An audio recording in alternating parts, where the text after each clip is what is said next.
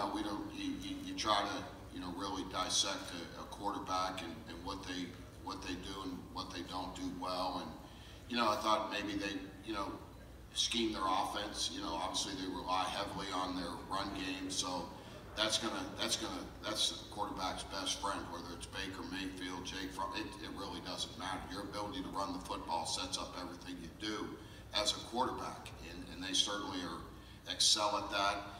But, um, you know, they put him in good positions, um, uh, to do what he does. I don't, you know, we don't look at him as a game manager. They, you know, how they, you know, set up their game plan week to week. Uh, you know, they do an excellent job, and they know how to get him in the situations they like.